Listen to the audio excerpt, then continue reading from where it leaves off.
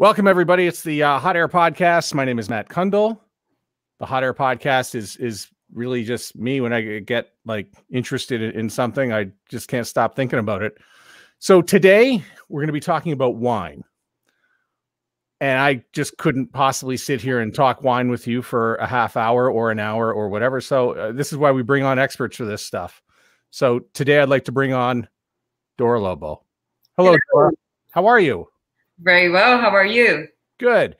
Uh, so, quick background into into how I connected with with Dora, and it was really uh, through the wonders of Facebook. And and Cathy Heller has a Facebook group, yeah. um, and she's got a great podcast as well. And I, I, met Cathy a number of years ago, and she's incredibly encouraging and sort of.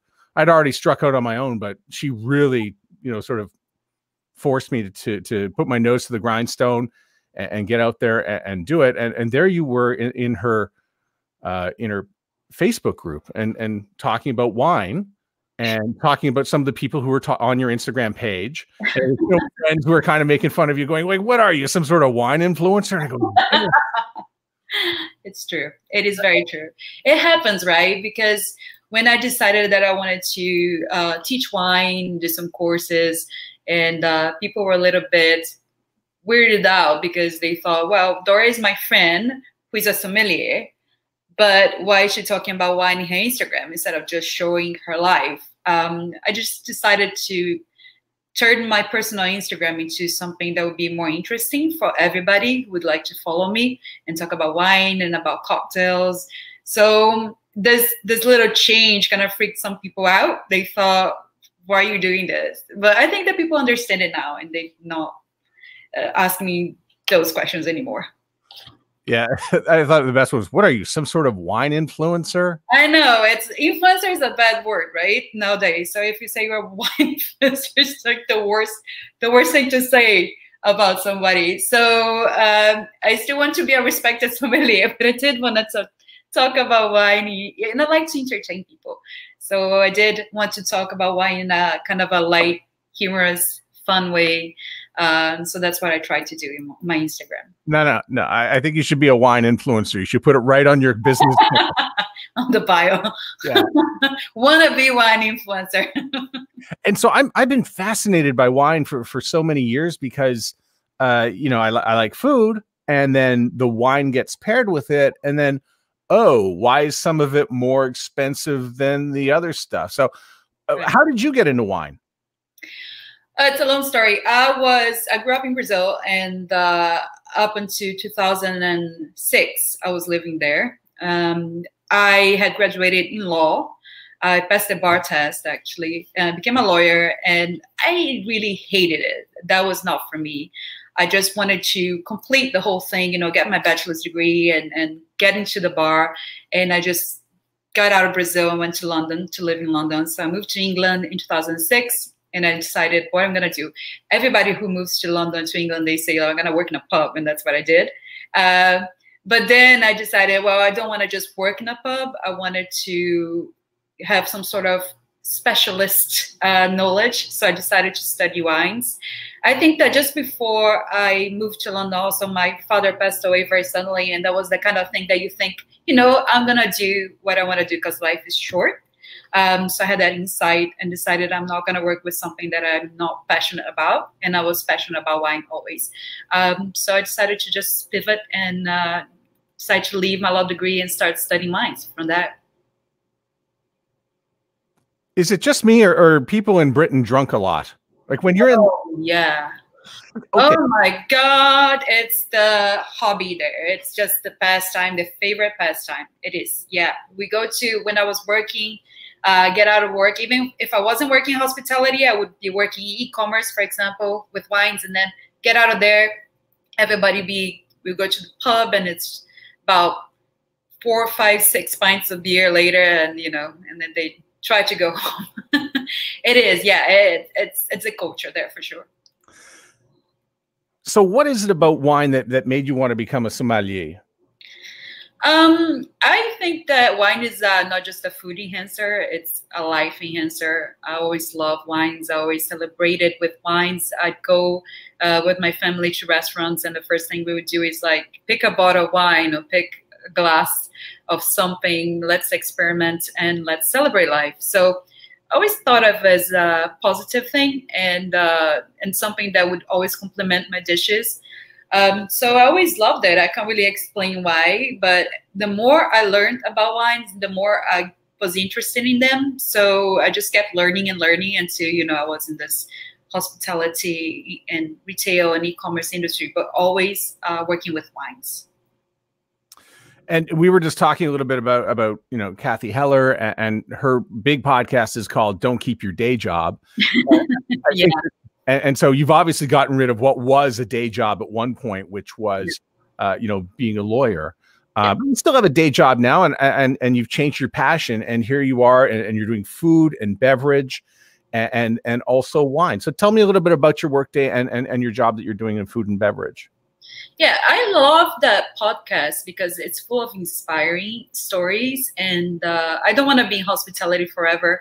I did think when the pandemic hit, I thought mm, my restaurant had to close, and I was like, what else can I do with wines? What do I love? So I started questioning these things. And in case the restaurant wasn't back anytime soon. Um, so I thought, you know what? I am actually gonna teach wine uh, online and I love doing it. And that's something that I do apart from my job, but my job is very diverse, you know. It's actually a vegan fine dining restaurant and I'm vegetarian uh, in Washington, D.C. And I pair the wines there and I also create the cocktails. So there's a lot to do because they also have events there. So there's just a lot of uh, different things that I do on a day-to-day -day basis, which is really interesting. I'm never really that bored. Yeah, so I, I, just put up on our screen in the middle here was Cathy Heller's podcast. Yeah. Don't keep your day job, and that's a great podcast. I really love it.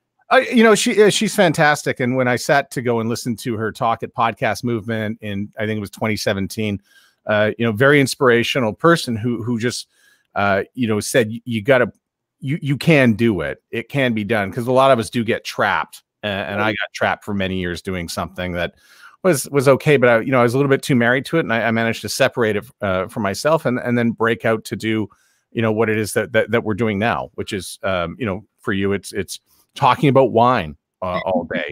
And, of course you, you, mix drinks and I, I do want to bring you back at some point. So I, I mean we're only like a few minutes in on this show but i'm already scheduling the next show for when we actually mix drinks but i know you like an old fashioned so i will teach you that one. Again i, I couldn't possibly do it on my own. I i can't figure it out for the life of me and i'm just I'm it's kind of, the easiest cocktail the easiest I mean, I watch Bar Rescue from time to time, and they make it seem so easy, but I know there's a whole lot more to it.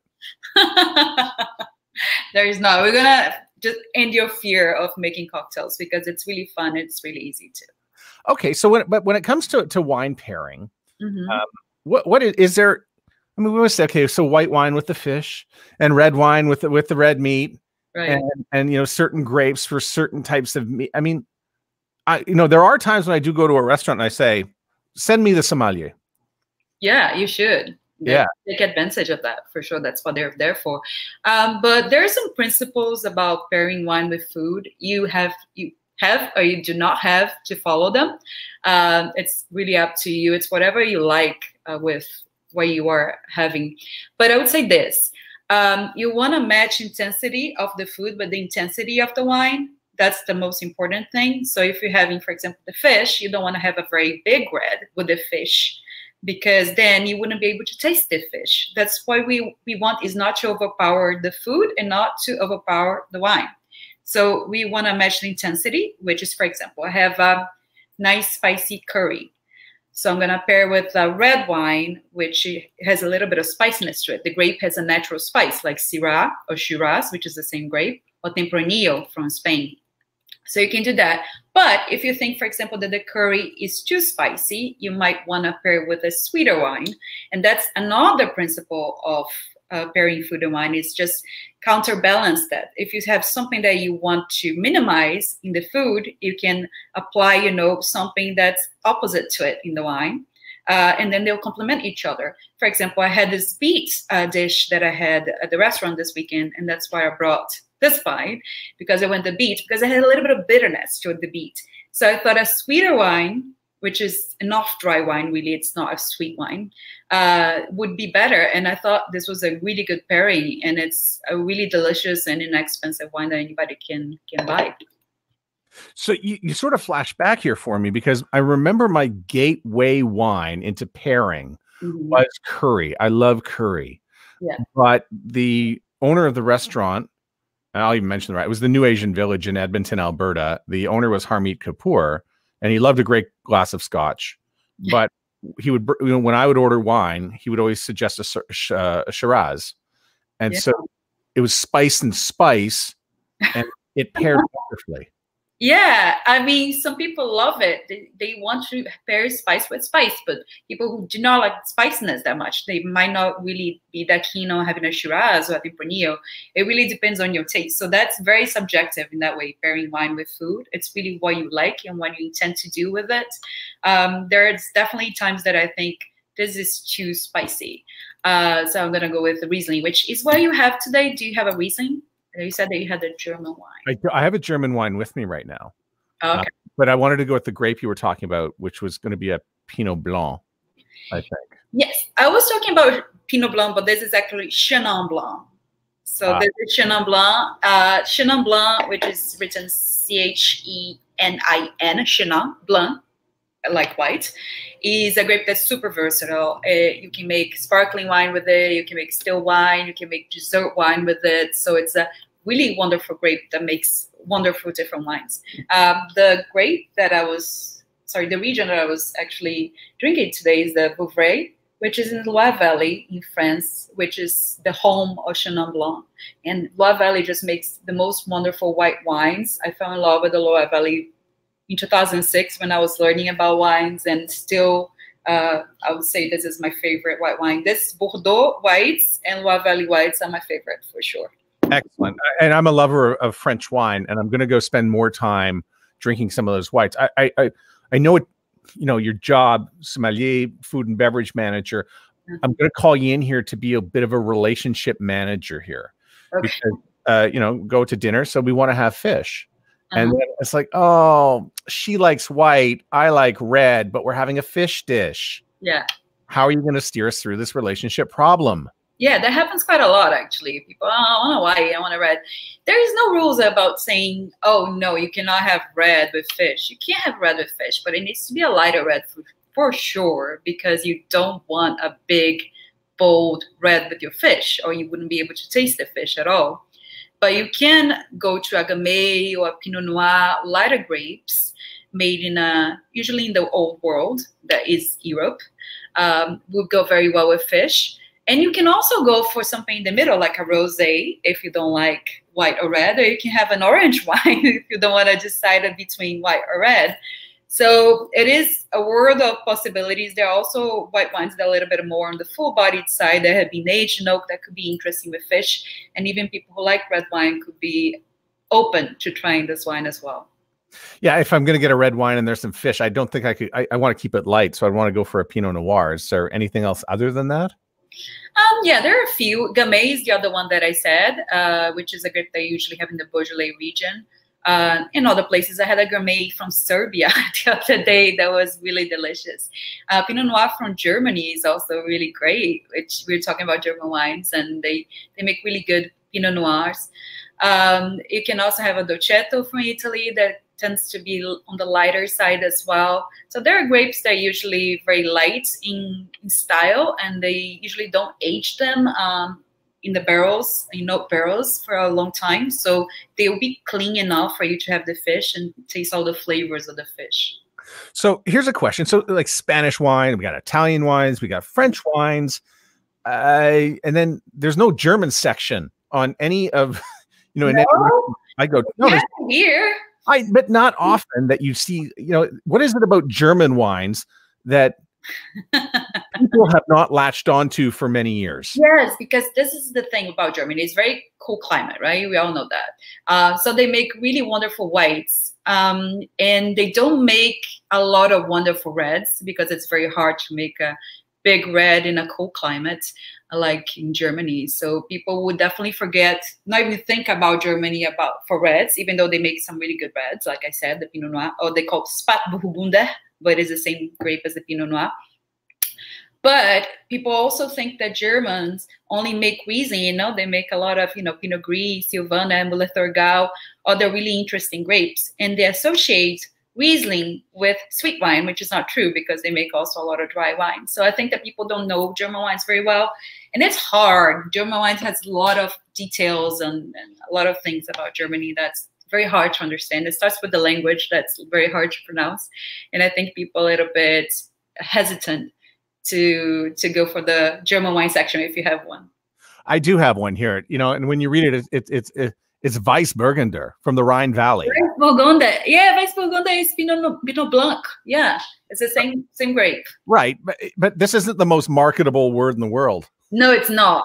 Can you imagine just put Weissburgunder and nobody knows what it is? So like, how are you gonna buy that? Actually, more importantly, what's it gonna taste like here? Oh, it's gonna be great. I'm sure. I don't know that one that you bought, but I really love Pinot Pinot Blanc or Weissburgunder. Wow. Uh, and I think that German and Alsace, which is a region in France that's been passed, you know, during the wars between Germany and, and France, um, also makes it really great Pinot Blanc or Weissburgunder or Pinot, you know, Bianco in Italy. They have many, many different names for the grapes. Mm. Why? What do you think? I think it's very good. I enjoy it. Um, it's um, it comes off. It goes in. I, I want to say it's going to be sweet, and it's not sweet at all, and it's not dry at all. Uh, so this comes out of the Rhineland, and so this is not your traditional German wine, right? Uh, and this, you know, this winery is, from what I was told today when I was, you know, when I went to make this purchase, you know, they were on again, off again but they are the darlings of of the Rhineland region when it comes to to making wine, and uh, they pushed all in, and this is this is quite a nice, enjoyable taste. So thanks for pushing me in this direction.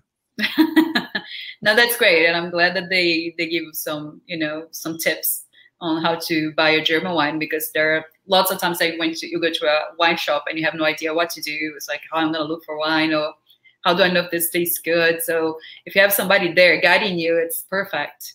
It's what you need. Help me out through France because France is, by the way, a, a bit of a wine snob. So you know, I love Italian. I understand Italian wine. I know what to do with my Chianti. I know what to do with the rest of the Tuscan stuff. I know what meat goes. I I just know it. Right. Spain, I know some of it. I know Rioja, and then there's Tempranillo, but I can't seem to warm up to Spanish wines, and this is after spending time in Logroño. How dare now, you? Well, when I mean warm up to it, I mean come away with a favorite. Okay, got it. So you know, I try to put you know a Rioja on the table.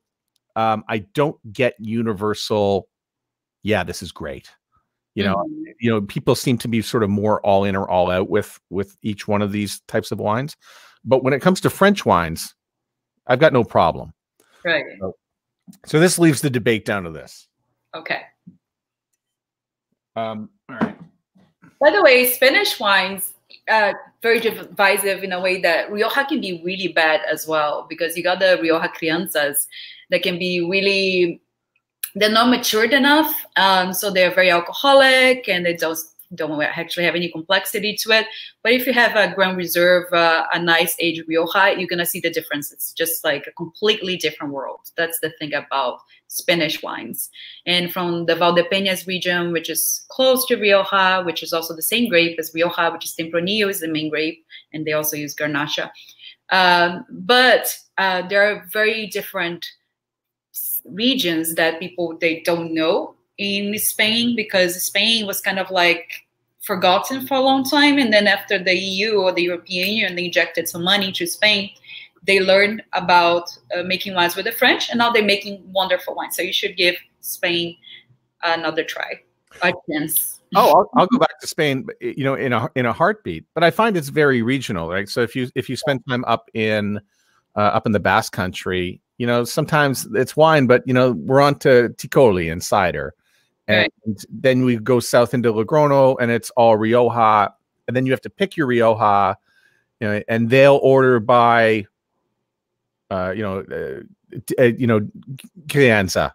Uh, you'll order a little bit closer to to the type. They don't really spend a lot of time with the region, right much. So, um, and also when when I travel Europe, I find that uh, you're getting the local stuff, but you know it's the table wine, right? It's yeah, usually, yeah. You know, and you gotta know what to look for, and you know, again, if you have somebody who knows about wine there, yeah, you don't want to go for the for the cheapest of the table wine ever because they're gonna give you plonk for sure.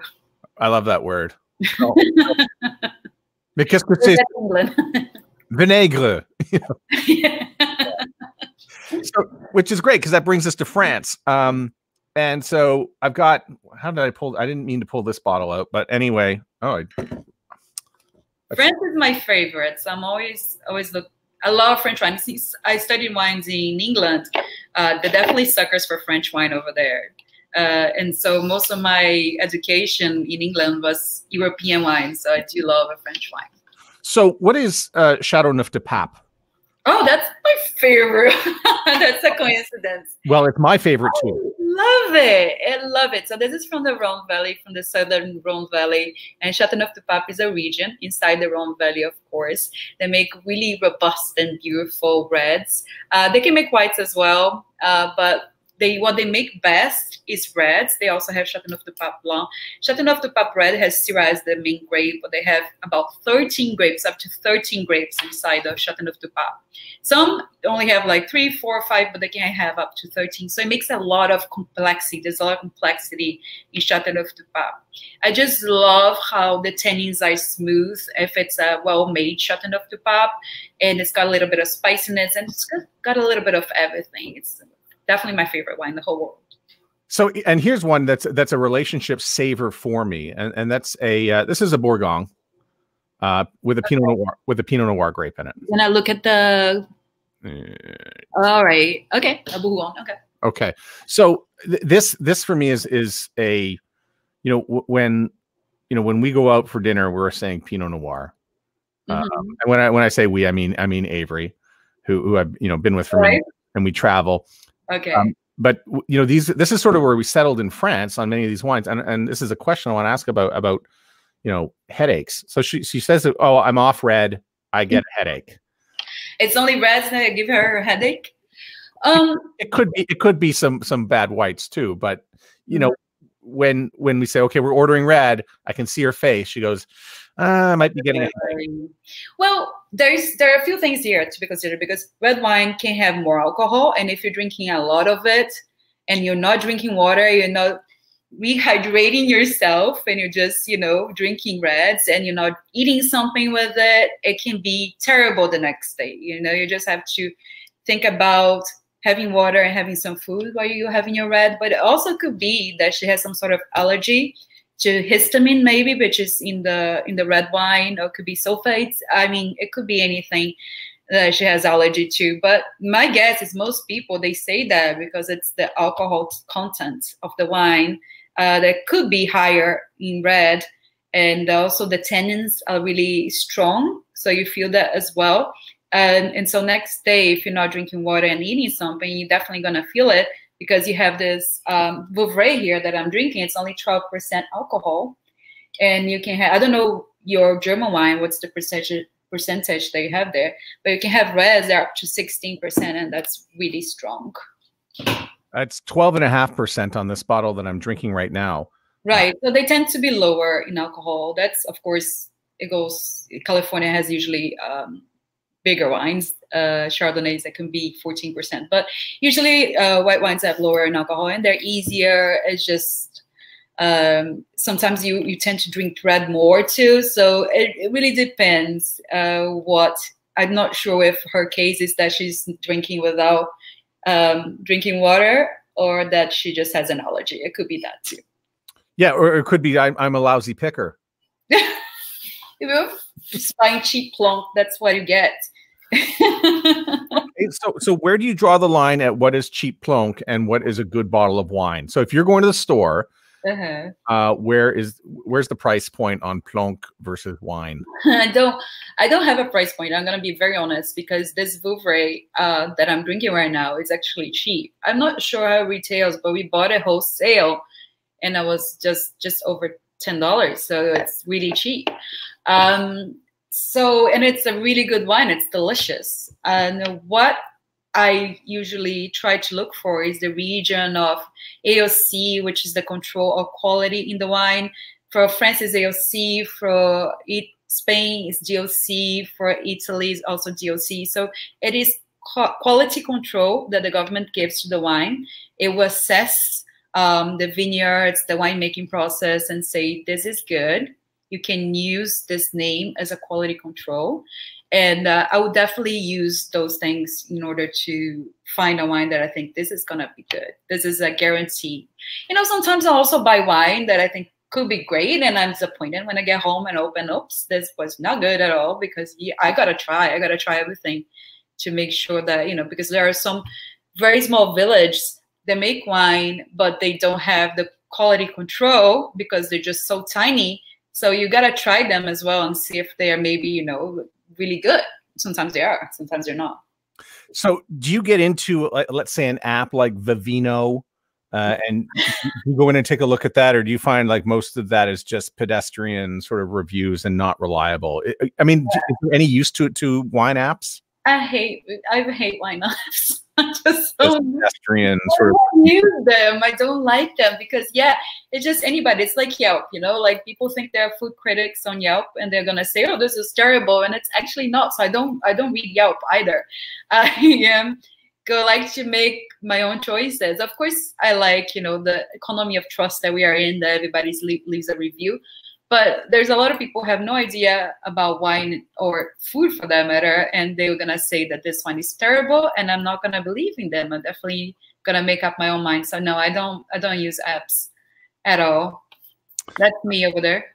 Yeah well, this is what we're doing here. We're going with the old share screen again because uh, so and by the way for anybody who, who is watching this whether it's live or on, on the replay uh, give dora a follow uh, very, very simple Dora Lobo on Instagram.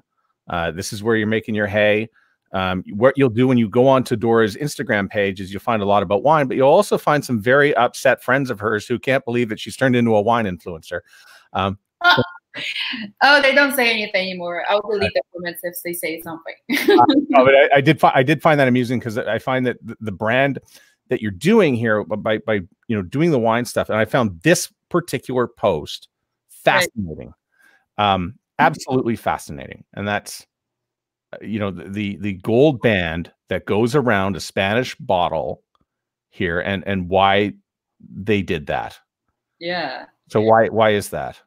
Well they're just uh, trying to protect the wines that well this was in the 1800s and Marqués de Riscal was the favorite producer for the king of spain back then and the king of spain uh, of course, he loved it. He just kept buying, and everybody heard about it. He was kind of the celebrity at the time, of course, like uh, you know, the Kardashians. it would be the marketing that the king um, gave Marqués de Riscal was uh, so great that everybody was trying to buy it. Well, if the king wants it, if the king loves it, I should get some. So what they're doing, because there was no foil back then, right, to protect the top of the wine, they're just taking out um, the cork and they're just replacing the wine with fake wine, a lesser known, lesser known, a, bad, bad quality wine most of the times, and then reselling at that time. So they came out with this gold wire to protect the reputation of the wines, you know. So I bet it was a better gold wire than they have right now because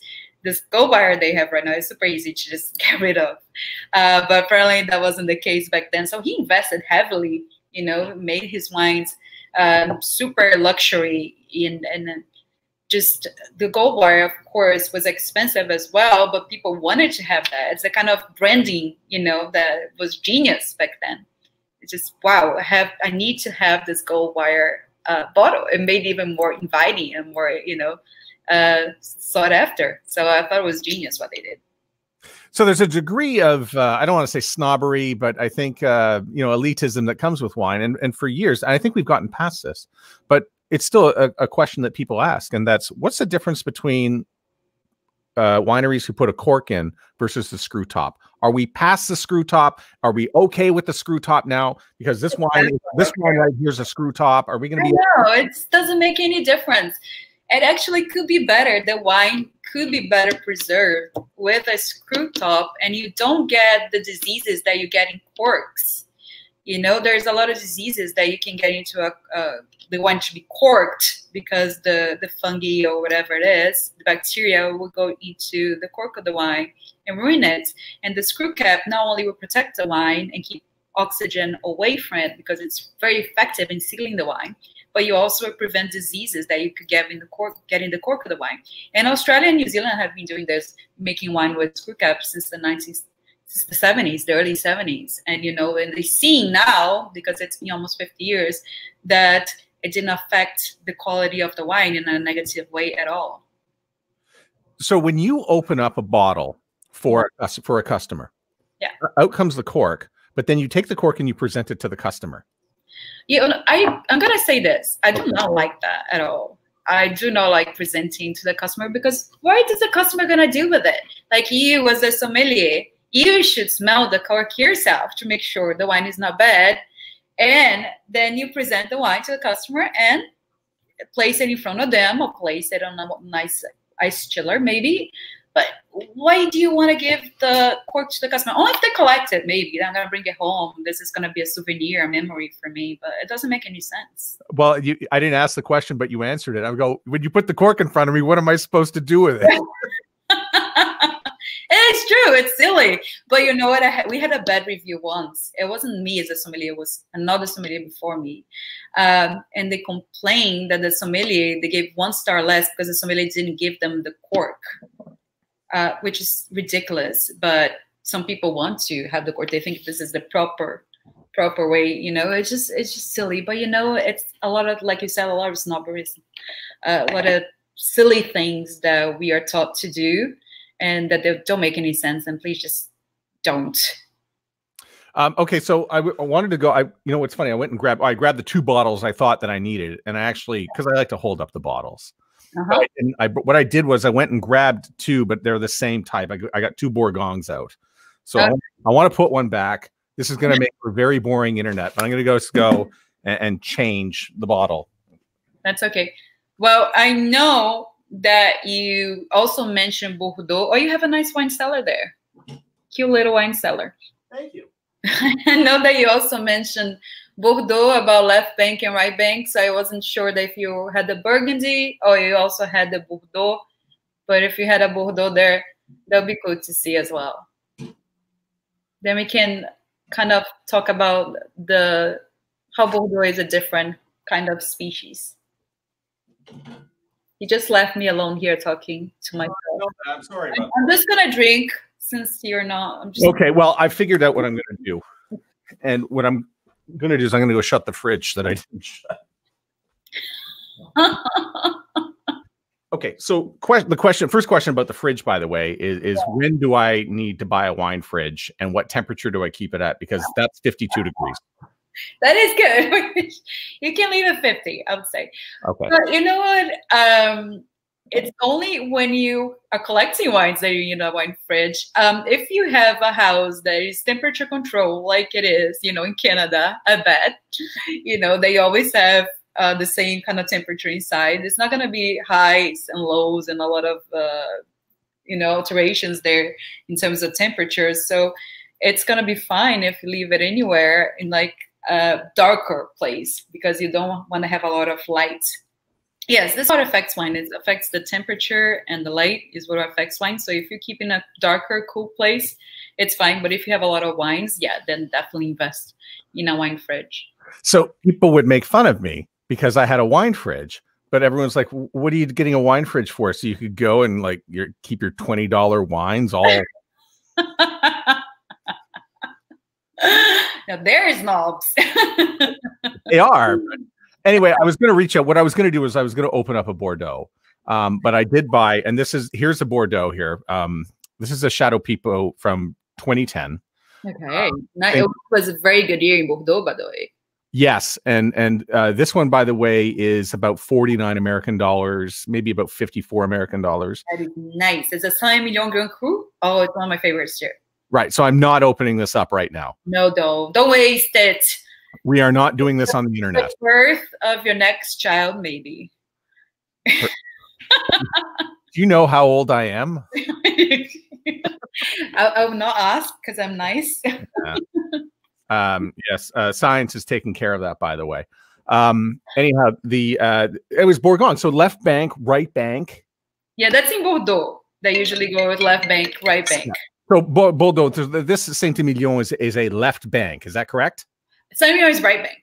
Right. So I got that. That is why you're here. so right bank, uh, which is you know the Gironde and the home bank, bank sorry, right and left bank is the division with the rivers that go into Bordeaux.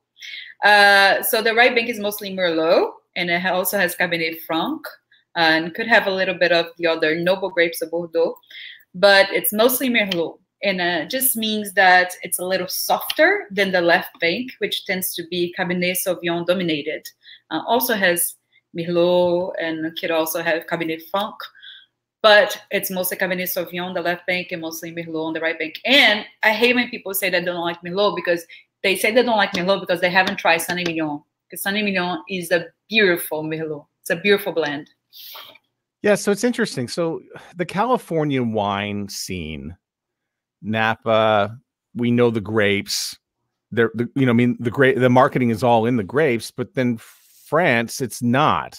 No, no we you know there are people who dump all over merlot but then would take this bottle of wine that i had and think it's the greatest yeah it's like they say i hate chardonnay and they buy a chablis. Chablis is chardonnay. I mean i hear that all the time.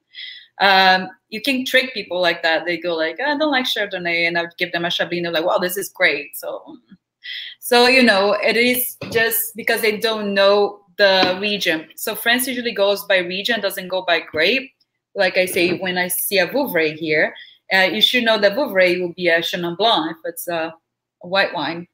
And if you see a Sancerre from the Loire Valley as well, it's going to be Sauvignon Blanc. And a Bordeaux could be, you know, Merlot, Cabernet Sauvignon, or mostly Cabernet Sauvignon, Merlot, Cabernet Franc, Petit Verdot, etc. So uh, it is usually based in the region, not based in the grapes. That's how they divide. That's mostly the old world. Um, Europe likes to do that. Rioja is also a region. Ribera del Duero is also a region. Chianti is a region.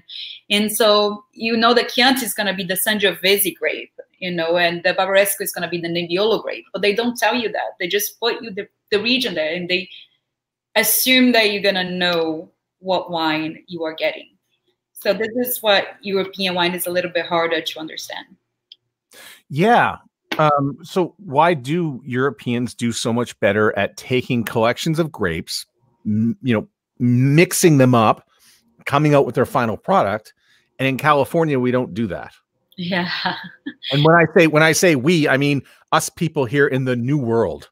Right. Yes, you're right, and I see that everywhere, even in South America too. I see a lot of uh, there's not many blends. I think that people from the new world, this is very generalization, of course, that's not true for everybody, but they still think that blends or assemblage are lesser quality wines for some reason they think that good wines are wines that are just made with one grape and they are missing out because the best wines in the world in my opinion are made with a blend of grapes like chateauneuf du pape. Um, so if you're just thinking that you're just going to have pinot noir because i don't like a blend you're just really saying something very silly and this is me being very nice because when somebody says no no no no, no i don't know i don't want this uh, why oh, because it's a blend, it's just like they put it, they think that they just put it like the rest of this grape and then the rest of that grape. That's not how they do. They just try to make a very interesting and structured wine by making together, getting together different grapes and putting a percentage of each grape. It's almost like chemistry. And this is gonna make the perfect wine. I'm gonna make 80% Merlot here, and then I'm gonna put uh, 10% of Cabernet Sauvignon, and the rest is going to be a little bit of Cabernet Franc, which is they do in Champagne. People don't realize that, but Champagne is usually a blend of grapes. It's Pinot Noir, Chardonnay, and Pinot Meunier. So they usually make a lot more Chardonnay or Pinot Meunier, sorry, Chardonnay and Pinot Noir, and a little bit of Pinot Meunier.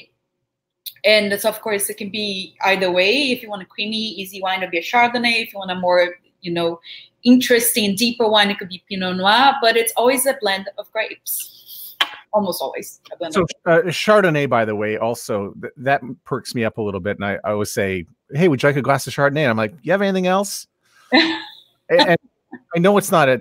It, I don't know how I got that way, but it tastes a little bit oaky. It tastes a little bit. Because the California Chardonnays, California Chardonnays, they give a bad name to Chardonnay, and I'm sorry to say that because there are really good California Chardonnays, but there are some overly oaked Chardonnays that are just awful, awful from California. And that's people think, oh, this is all Chardonnays. But no, try Chardonnays from other places.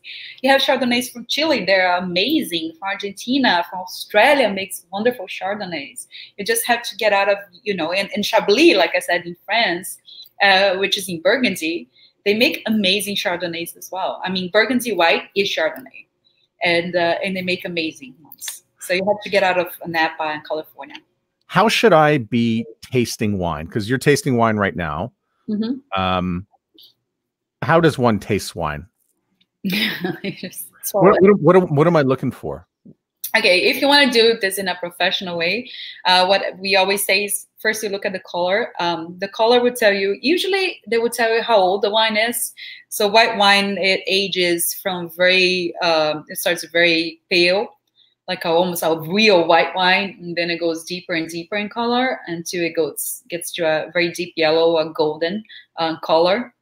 And red wine will start in a purple color in its infancy, and then go to a ruby color, deeper red, and age into a brownish uh, tone towards the end. Because all wines they have a cycle as well. Life they will uh, start, and then they're gonna be too young, and then they're gonna have its peak, and then they're gonna decline and die in a way. Um, so we just have to, the color would tell us which stage of their lives the wine is. And this one that I'm trying right now is quite young. It's like 2018. So it's got a little bit of yellow, but definitely not a deep yellow either. So very easy to, to drink. And can you tell me a little bit about decanting the wine? Like when do I have to decant wine and when do I not need to do that? And what is what is decanting wine?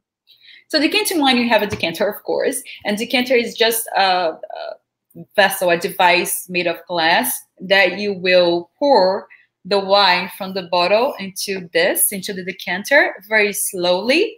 Um, and two things that the decanter can do. First of all, you're to get a lot of oxygen into the wine.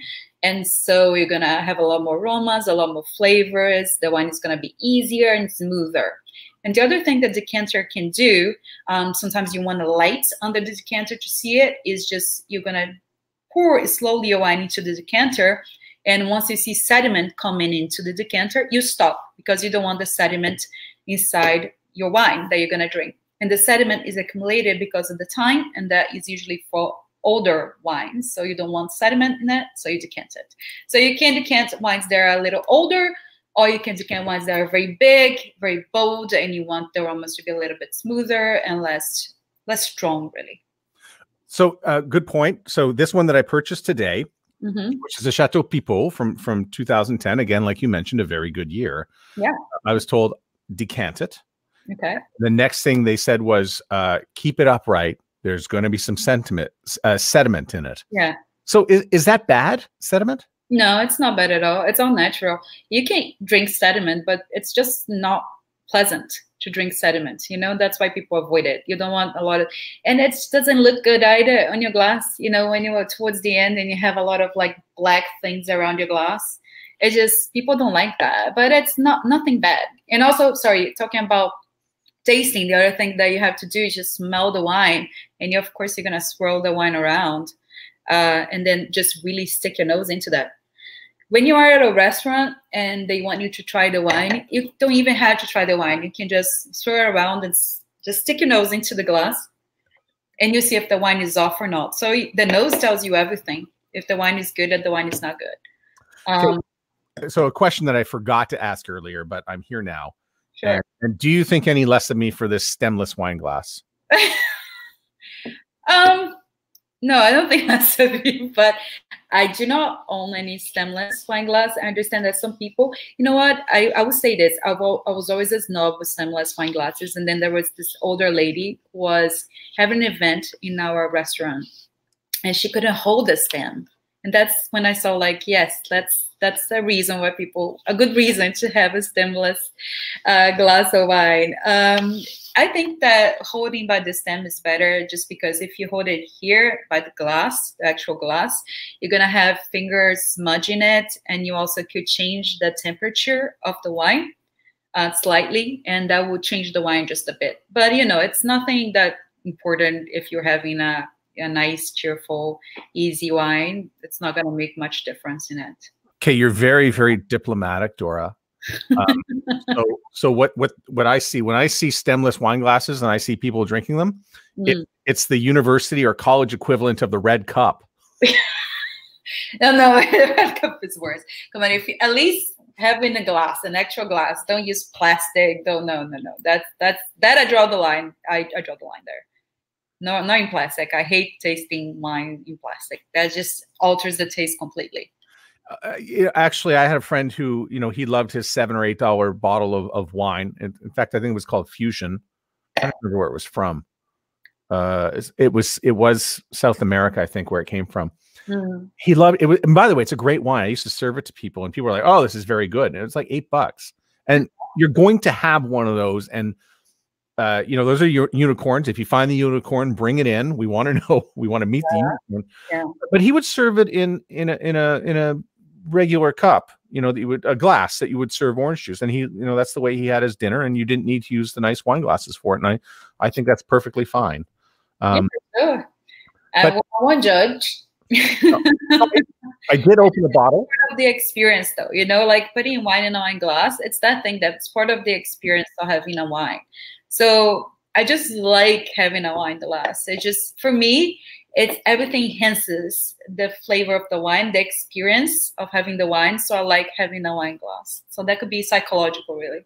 I was going to open the uh, Bordeaux, but I wound up opening up the the, the Bourgogne here, uh, sure. which is a Pinot Noir. Uh huh. Um, so I'll put that. But here, here it is. It's it's now into the into the wine glass. So run. You kind of touched on a little bit, but run run it through one more time, because this is this is in the glass, but it's going to get better and I've got a nice wide red. Yeah, really good. But that's a proper red wine glass. That's yeah, good. yeah. You got to have a wide wide uh, glass there because you have a lot more aromas and complexity and alcohol in the red wine. So in tannins.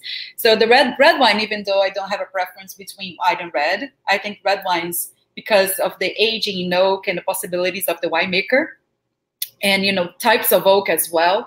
Uh, it can be a lot more interesting a lot more structured and a lot more complex than white wine.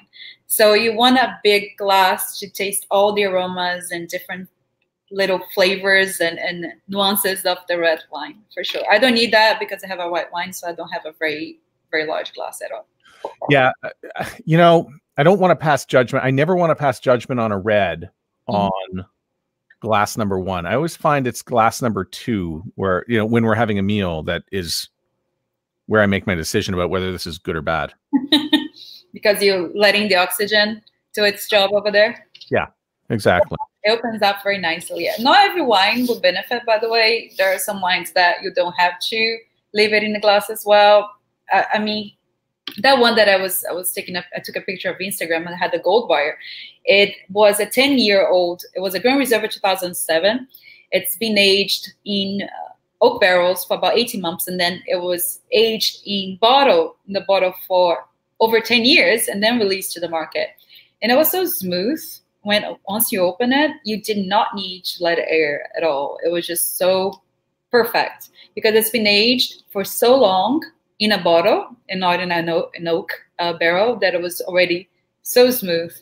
And I thought it was perfect. So I didn't think that I needed two hours there. And some wines, if they're very, very old, if you leave it for a long time, they can be ruined with the oxygen too. So you got to be careful about, you know, letting air for a long time. So I was super surprised today when I went to the store and found this this 2010, mm-hmm. you know, right bank wine and I've known it's a good year and that they were selling it.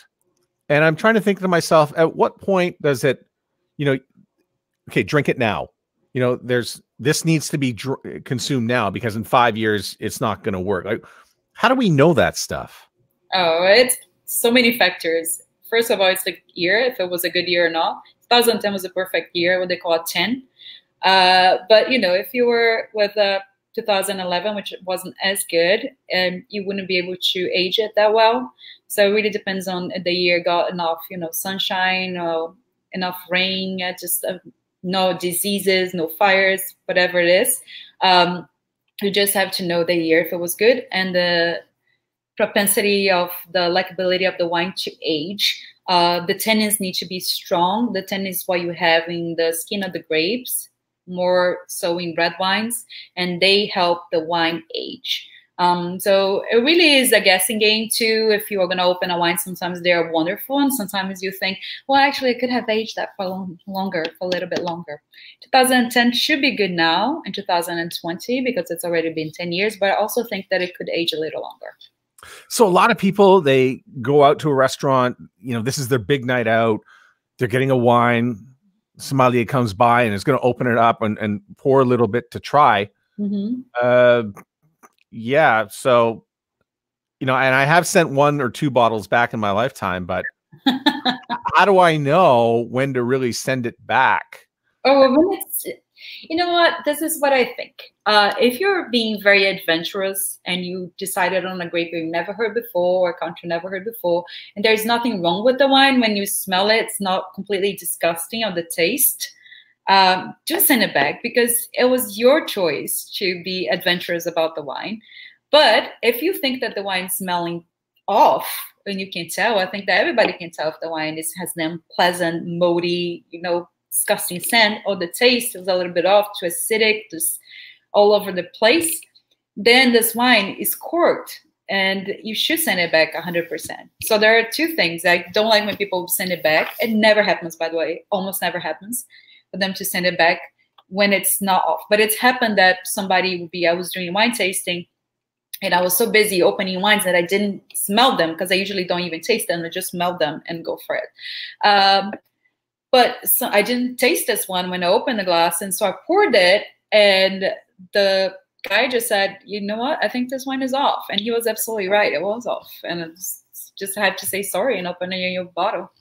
So if if the customer says this is off, what do you do? Do you sniff it or what do you do?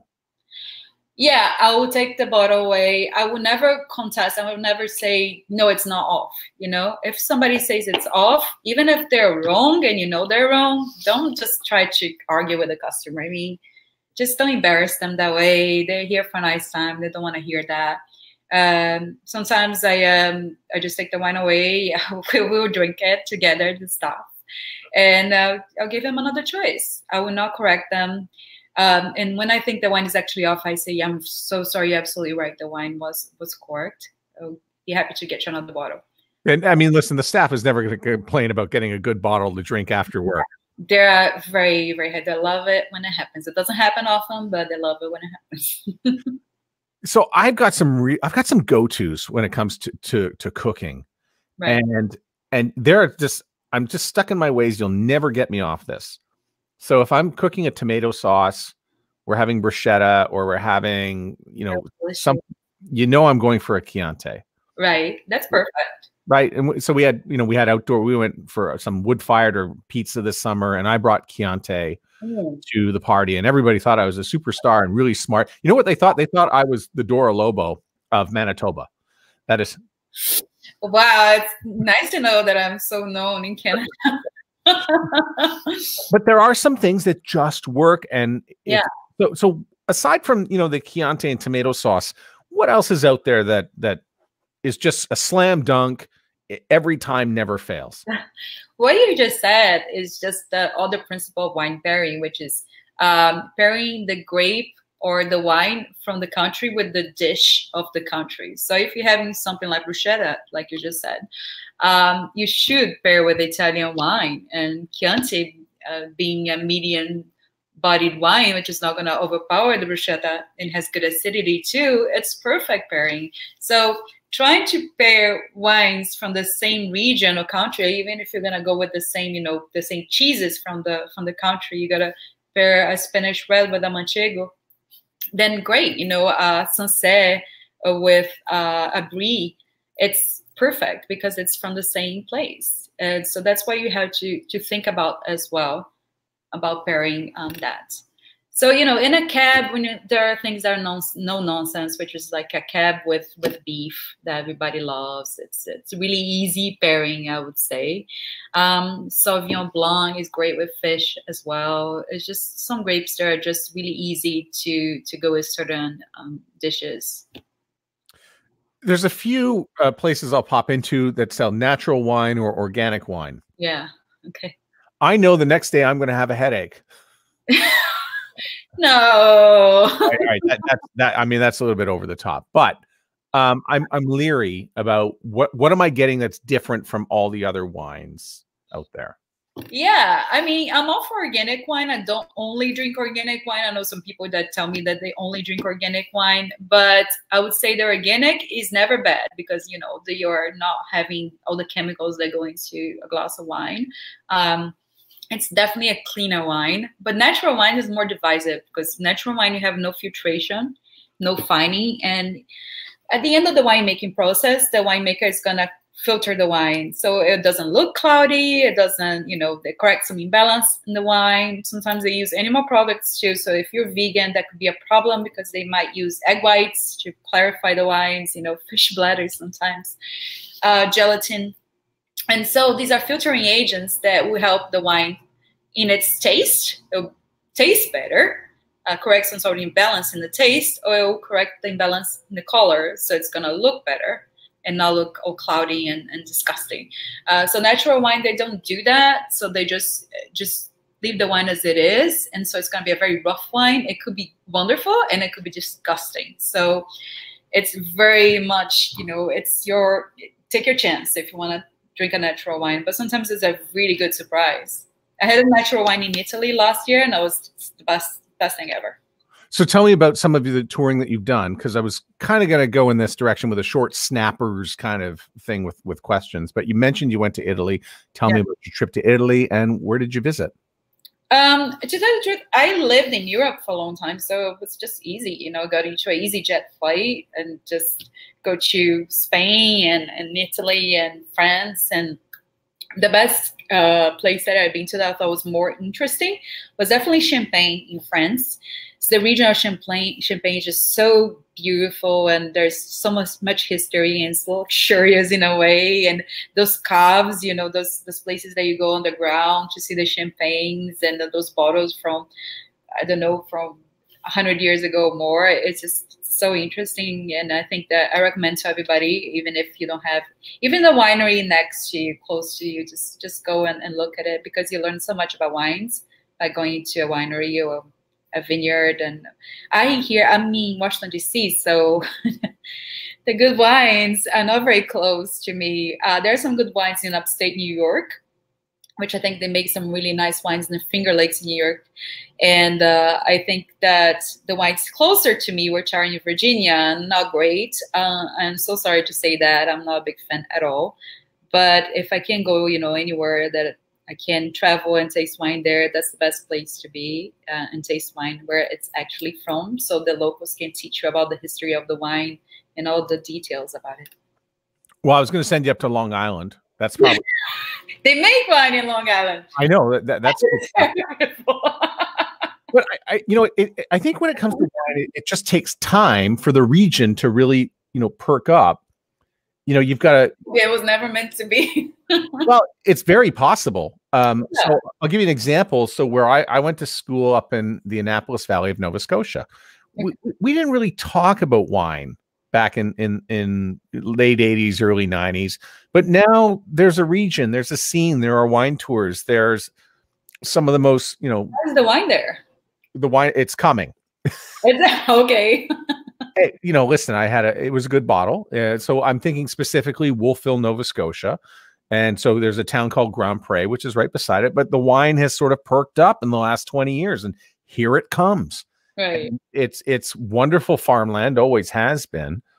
And I think it takes time for a region to, you know, to figure it out, to, you know, to have a number of go throughs. And, you know, some, you know, wine from Arizona. I never really thought about that, but now it's a thing. And are you laughing? Yes, no? yes. Yeah. Um, yeah. Well, I, I think there's some regions though. I mean, Virginia, they've been making wine for a long time, right? Thomas Jefferson have vineyards there, but it just I just can't get through it. I just don't think that the climate yeah interesting wines. And you know, there you might find some Viognier that's interesting there, but majority of the wines that I try there, it's just harder. It's just harder. And I love, you know, I love my favorite regions in America. It's, it's just definitely Oregon. They make wonderful Pinot Noir and Washington State more than California. Um, but from Canada, I just know ice wine to tell you the truth, because that's what people talk about Canada is just ice wine. Are you, uh, are you, first of all, tell me about ice wine. Are you, um, why are you a buyer of it? Ice wine is just, you know, wine that you pick um, the dead of winter and cold, the cold, cold night of Canadian winters. And the grapes are frozen and the sugar is concentrated in the grapes. And so you pick when it's frozen and then sugar is, is basically in there and you're gonna make a much much sweeter wine so it just makes a super super sweet wine that's what ice wine is and yeah you gotta have the palate to it and the right food to to have it it's really good wine by the way it's right up there with the best dessert wines in the world but it's definitely sweet very yeah. from from the niagara region and i'm i'm glad we're talking about canada because i want to give uh Quail's Gate is is my go-to. My Quail's Gate Pinot Noir is probably one of my favorite Canadian wines. Retails 30 bucks Canadian, 20 some odd dollars American. Mm-hmm. I enjoy it. But the ice wine thing, I go back to the restaurant where I had already, you know, knocked off a bottle of Shiraz at the Indian restaurant, and out would come ice wine for dessert. You know, and the dessert, and I'm like, you got this free from the winery. I don't want this. it can be too sweet. But you just have to have, for example, you can pair ice wine with blue cheeses, which is really interesting. Instead of just pairing with dessert, which is just sweet and sweet, you can pair with something a little bit on the bitter side, and it just makes sense with ice wine. People also say that foie gras. I'm all against foie gras, by the way, vegetarian, but people say that foie gras is great with uh, ice wine as well. So it really depends on what you are having. Yeah, so tell me a little bit about the vegetarian aspect because I'm always looking for the cab sauv always matches with the red meat. And tomorrow night I'm going to have more red meat. So now I'm going to pull out my French wine, which is going to marry with the red meat. Yeah, it would be great. Right. You know what? I still drink all kinds of wine, even though I turned vegetarian. Um, I still drink drink everything that I wanted to drink. So I just make, you know, yesterday I made a Brazilian dish, but I made a vegan version of a Brazilian dish. It's called feijoada, which is just like a casserole with beans and peppers and things. But instead of putting pork, which is usually in the dish, I just put the vegan sausage inside. So I had a really nice uh, big red with it. So that was great for me. You know, I just do not stop drinking what I want to drink. I just make up my own uh, recipes just to adapt to, you know, nowadays you have so many meat alternatives and, you know, you have the flavor of beef, of chicken, turkey, etc. And you can pair it very well with with the reds that would go normally with beef, chicken, etc. So I'm not missing anything. I'm not missing anything. I promise. No. So when you say you're vegetarian, does it mean you're you're you're vegan or? No, you... vegetarian. I still I will still enjoy a Ben and Jerry's ice cream and a pizza with real cheese from time to time. So I can I can say I'm vegan. I do avoid it, but I still I would not say no to a very delicious uh, margarita pizza, a bruschetta, like you said too. Why do wine? Why does wine and cheese pair so well? I know it's crazy, right? This is the problem with me. I can get rid of cheese because cheese is just so complements wine so perfectly. I can't explain why it does, but I just think that it's they, they are just perfect pair for one another. When you put some nuts there, some jam there, it just makes the whole very very interesting thing you know as a snack as a conversation piece i just just think that cheese is wonderful and there's a whole art behind the cheese as well which i really respect people who make cheese you know it's just to make those flavors more pronounced nutty and floral just almost like wine so i think it's really interesting too so I said I would keep you here for an hour, and and this is uh, probably the first of five or six lies in a row. I, am going to tell you. Uh, I, I, do have more questions. Oh, um, that's perfect. So as, long, as, long, as you have time, uh, first of all, uh, what are you having for dinner tonight? I think that I'm gonna make. So my husband wants a moqueca, which is another Brazilian dish, which is like a seafood casserole. Um, and I make it and I take away the fish for me, but it's still delicious because it's got coconut milk, tomato, etc. I gotta say, I haven't tried, I haven't chosen the wine yet, which I should do. But I'll probably uh, go with a lighter red. I might go with a rosé actually. I have a rosé here, which is called 100%, which is also from France, of course, and it's delicious. So, has he ever sent a wine back? For my husband? Yeah. No, he doesn't yeah. know anything about wine. No way. He doesn't even taste it. He just gives it to me to taste. I choose, I taste. I'm just thinking that would be a bad relationship move. I would be like, what are you talking about? uh, no. So a complete disservice to everybody who is listening on the podcast, but it, for those who are watching on video, the, the red that I opened, when I smelt it the first time, didn't smell very good. Now it smells much better. So we've yeah, over about 20 minutes since it sat here. It's much, much better. It's a burgundy, right? What year is that burgundy?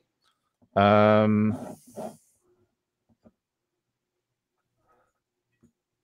is it a problem if it's not listed? That would be a big problem. It has to be listed. That's in the law. It might be in the on top, the top here. You see why you were holding when you put in your thumb. Yeah, uh, 2017, 2017. 2017. Yeah, it's a young one, so yeah, it does benefit from from a little bit of oxygen there. That's why. Yeah, and have you ever felt? Have you ever found a defective wine that was completely not labeled right, and you're like, no, nah, it can't be. Well, if they do that in the well, now you know it's, it's the European Union regulates most of it, so it has to have the wine, the vintage of the wine, the year that the grapes were harvested, or otherwise, you know, it's probably counterfeit. it just could be a fake bottle of wine so you've done some traveling and you would travel i guess from london to some of these european countries and you would yeah. go and touch on a tour I'll, I'll, mention the country you tell me give me the best experience from a winery that you had when you were there maybe it, it's a memory or uh, your best day so I'll, for example i went to california went up to napa and i couldn't get past Cakebread, the Cakebread winery mm. when, I, when i got in there and and tasted a few i loved um, what Cakebread offered on the white side. I just, you know, that's where I said, okay, this Californian white retails, you know, 40, 50 bucks. It's delicious. I found some, some other ones as well. The Chardonnay is a little bit more expensive, but I, I, was a buyer in that, you know, at that point, I'm like, yeah. sold. No, Cakebread makes good wine. I gotta say, I hate the name of the winery, Cakebread but I love, I love the wines for sure. So I'll send you to. So you you mentioned you've gone, you went to Italy. So tell me about your best day in Italy touring a winery? Best Italian. I wouldn't. I don't know if I'm gonna say like the best winery, but I would say that I went to Tuscany, and that was all paid for by the company that worked in London, and that was the best experience because they put us in castles everywhere in in Italy, and so these Italian producers who've been making wine since medieval times. They are putting us up in these castles so we could sleep there and try the best kind of cuisine imaginable and back then I was still eating fish. So I was just eating this wonderful six, seven course meals with the best wine. And it was just amazing. I will never forget. That was definitely Tuscany is one of the best, the most beautiful places I've ever seen in my life. So if you're thinking about doing a wine trip, I would say Tuscany is the way to go. You're gonna be blown away. The food is also amazing. So I did a trip there in 2016. I will echo all that. Um, Perfect. Went to went to the town of Chianti, um, Montalcino. I just, it's so good. Yeah, it's amazing. And I went not only in Tuscany, but I also went to Umbria and also places around over there in Europe. I went to Pisa and um, Firenze, and I just thought that was the best trip of my life. I'll never forget it. I just good wine, good food, good weather, good people. It was just beautiful, and definitely it will be top. That my top uh, wine trip of my life.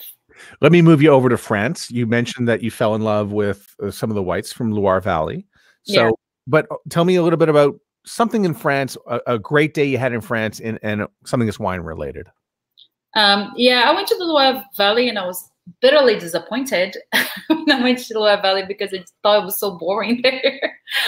I gotta say, but the best one, like I said, was definitely the trip to Champagne because I just thought was so amazing. Those places, those caves, like Krug, um, uh, was it Pommery? Champagne Pommery was just beautiful places. There's so much history and they're so gorgeous, these places, and they're just very welcoming too. And when you have a champagne taste of, you know, years that you never think that you would be able to try and they're not available uh, here in America or weren't even available in London back then. I thought I was the luckiest person ever. And when you say that you are you work with wine, they always treat you differently too. So it's it's always great. And a country that I love, um, I find the wine, of course, a little bit complex. That's why I had to ask you. But but what happened when you went to Spain? Where did you go, and and what'd you find? Oh, I gotta say, I never been to a wine. I never been to a wine region in Spain, which is I'm so bummed about it. But I've been to Spain, I've been to Madrid, I've been to Barcelona, I've been to a few places, but I've never been to Rioja. It's really upsetting because I actually prefer Ribera do Duero in terms of wines. I think they make even better wines than Rioja. Uh, they tend to be a little bit more expensive, but the wines are really outstanding in terms of flavor. So, but I never, never been. I'm afraid I have never been to Ribera do Duero. Okay, so tell me about that region. Where is it? It's in and a little bit north up from Rioja and just makes a lot of assemblages or blends uh, that tends to be very robust and big and just aged in barrels for a longer time. And also Tempranillo is one of the grapes that we will find there. Um, so I think Ribera del Duero is just a, just a wonderful, interesting wine region. And I just think that even though they're robust wines, they also tend to be very smooth and very easy to drink. So I'm I'm not completely lost on, on, on where this is. So I'm I'm gonna have to. This is where I'm I'm afraid I'm gonna have to go to the map. uh, it's okay. You can go to the map. All right. Well, it's a DO, so it's like a denominación de or, origen. Um, my Spanish, even though I'm a Portuguese speaker, uh, my Spanish is not wonderful. Um, but yeah, Ribera do Duero is in, it's one of those those places that you really find wines that you never thought you would. Because you meant you mentioned it was north, but north of Rioja, correct? And yeah, it's I'm not very good with that, but it's like you have Madrid and you go up, up, up, and it's like straight. You know, when you go to Madrid, just look for Madrid in the map and just go straight up. So it's north, but like before um before the the coast. Not in the coast, you know what I mean? Yeah. Okay. And uh, you go like Bilbao to the north. Yeah, I see it. Right. It's right between Bilbao and Madrid. I'm not really that good with geography in Spain, but it is more towards the north. Okay, so what, what's it called again? Uh, Ribera, it's uh, R I B E. All right. Ribera, and then Del, D E L, and then where is D U E R O. Okay, so uh, right here, I'm circling this by the way. Um, it, Logroño, you can see on the map right now. Logroño, I spent three days in Logroño, and oh, okay. So, and, and by the way, so if if you are looking for a trip to Spain, and you want to go to some of the best places for wine, mm-hmm. park yourself in Logroño, and the big debate does come up: uh, Rioja or Ribera. So, which I prefer Ribera. I gotta say, I prefer Ribera. Just try it and let yeah. me know later. Just try Ribera do Duero and tell me, because Rioja is, like I said, there are a lot of bad Riojas. There are a lot of bad apples in Rioja. and, yeah. and I stay away from Rioja Crianza because it just means Crianza means child, right? So it's a wine that's hasn't been aged, hasn't been developed. It's just a wine in its infancy. It's not interesting enough. But then you go to Ribera do Duero, usually wines are much smoother, much interesting. I just think that Ribera, which north, it's just really beautiful. Yeah, as a friend of mine said, uh, some of the Riojas can taste like cooked fruit. Yes, they can yeah. super jammy and alcoholic and not smooth enough, whereas Ribera usually makes. And what's interesting is that Rioja has kind of a higher classification in terms of it's a DOC, which is Denominación de Origen Controlada. Uh, and then you got Ribera, which is a DO, which is Denominación de Origen, which could be a lower classification, but it's actually a much better one. So sometimes it doesn't mean much. So in that time that you you said you were in Madrid, um, yeah, I went to Madrid. Yeah, and so tell. Uh, by the way, why I'm a big buyer of of going to Spain. I, have been to Italy. Okay. I like I like France, but I'm always in Spain because there's wine, but there's also food, and the food culture in Spain is is second to none. Yeah. Um, you know, especially if you're in Madrid, Yeah. uh, you know, there, there's a bar culture and tapas and Yeah, it's beautiful. You know, I have a friend. She, I met her in England, and she just told me she moved to Madrid, and I cannot wait to visit her. I'm so excited that she's moving to Madrid. I don't have to go to London, you know, which the weather is usually not that great, but Madrid is just wonderful. And you're right, the food in Madrid is just delicious. If you eat fish as well and you go to Barcelona, also amazing. you know they have great fish in Madrid. They they ship it in every day, and they have since uh, you know since Ferdinand and Isabel, way back when. yeah, they do have, you know, uh, everywhere in Spain, they have wonderful, wonderful food. Yeah. Um, so you being from Brazil, I will assume that you know some, some Portuguese, obviously, and some That's my first language, yes. and so and you've got a grasp of Spanish as well. Yeah. Anything else? Aside I lived in France very briefly too. Um, but my French is not great. You know what? The first time I learned French was when I was an exchange student in the USA when I was a teenager. And I learned with a Canadian lady. I just remember that. she taught me French. So I assume you you speak French as well? Yeah, I speak French. There you go. Um, so I'm not going to embarrass myself speaking French with you, okay? Because your French is probably much better than mine.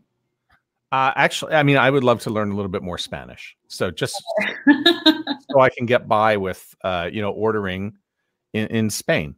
And, you know, you can learn to order in Spain. I mean, I think the first thing you learn when you order in Spain is, is that you're not, you know, is, is how to order, you know, not by the grape, but by the region. You have to learn that sort of language, uh, you know, and you could travel from Logroño up to the Basque country and then you're ordering completely different drinks. yeah. Yeah. Sure. Yeah, I think Spain is- is a country that's it's great to explore. It's one of the best for wines and food, and uh, it's one of definitely my love. I always say that if I were to retire anywhere, it would be either in Spain, in Madrid, or in Portugal. That would be my top two choices there. Um, why are we? Why do? Why are most of people wanting to go to those places to retire? Because Yeah, it's a lot of English people retire there because it's sunny, it's nice, and it's cheaper than going to other places in Europe. That's why. yeah, people in in England all want to go down to Malaga to get. Of course, they want to, you know, the English weather is just the worst. Of course, they want to go to Malaga. They want to have an easy life that's enduring English weather for all their lives. They're like, please, I suffered enough. I want to go to Spain or Portugal. Yeah, I want to go to Spain too. I just don't want to run into the English. Fair enough. You know, it reminds me of the day. I, I promise we we took the train from uh, Bilbao to uh, Barcelona, and I said we're going to have. I promise you, we'll go to uh, the plaza, um, and I will get you paella, and we'll have a nice lunch. Mm. And we got there, and it was the day of the Barcelona Manchester United game, and uh, the place was Oh. overrun with Man U fans. They are the worst. Oh crap! The British are here. yeah, Man U fans, they don't have a good reputation. And I say that because I used to date a guy back in England who was a Man U fan. And geez, geez Louise, I will say nothing. Nothing else. How did you get to the United States? My husband, he's American. Um, so yeah, and we moved to here to Washington D.C. We were in Alexandria, Virginia, which is very close in northern Virginia here. And uh, I actually live in Maryland. Everything's so small here that um, the suburbs of DC is Maryland, where I live, and I commute to DC every day because that's where I work. So I have another podcast. It's about radio, and um, I didn't know that the area was called the DMV. Yeah, it is a DMV because it's so tiny. So it's yeah, DC, Maryland, and Virginia is almost like one state. And so the radio, uh, the person I was interviewing was was Sunny uh, from uh, WGPC radio station, and she and I'm going to dovetail. Watch how I dovetail this. Mm. Um, she grew up in in Bosnia and didn't know English until she was 15. She moved to Detroit, and now she's on the radio in in the DMV. Um, and you mentioned Serbia, by the way, a little bit earlier on as being a place where you could have wine that would pair very well. What are some of the other places? And I'll throw out a couple. What are some of the other places that we just go? We don't pay attention to those wines. Yeah. Um, so you mentioned Serbia, but I've also got Lebanon and Greece as well as places that I can get a really good wine. I don't know. I think that I have a lot of Greek wines now in my my menu, wine menu. But then you have places like Republic of Georgia, which I think is really cool, which is kind of like where the birth of wine really was. You know, they found these vessels buried in the ground about 5,000 years ago. And this was in the Republic of Georgia in Eastern Europe. Um, and they make amazing wine and make really good orange wine as well. So that's one of the countries that I think that are really cool. And then you got Slovenia that makes also really great wine. And these are just, um, and then you got England, which I actually worked in an English winery, which makes really great sparkling wine and the same latitude as Champagne, France. So they make very wines that are very much like Champagne, sparkling wines. Uh, in Brazil, where I'm from, they make wine as well, and you never know, but they make some good wines too. So you gotta just try and experiment with countries. Sometimes it's gonna be hit or miss, but you gotta, you know, try wines and diversify your palate and your taste and see what you like and what you don't.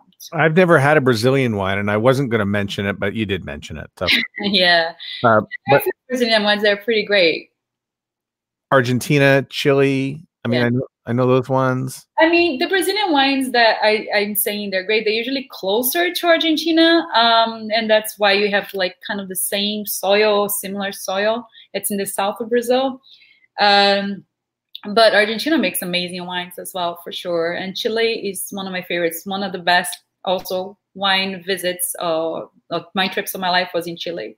Uh, they're amazing because you have the mountains and you have, you know, the the the sea close to you and you have, you know, the Pacific Ocean and you got everything is so close and you're able to see the nature and the city and the wineries are just there and it's just really interesting place and it's so clean and so beautiful. Be so impressed when you go to Chile because people have the wrong idea about South America. Think, oh my God, it's so dangerous and dirty and weird and violent. And but no, Chile is just like you be there and you they treat you so well. People are so nice and it's so clean and so beautiful. It's just a really nice country to be in. And here's one that came across the other day that somebody told me orange wine has no orange in it. No, there's no orange.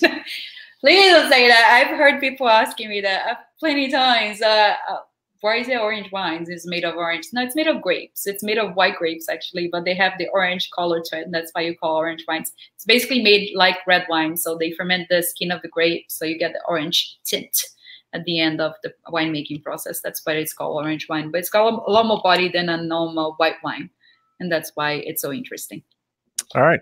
Uh, Dora, where can uh, anybody who has actually made it to the end of this podcast? it's so such a long one. Oh my gosh. Maybe, maybe, maybe they fell asleep. And, Unless they're drinking. This would be fine.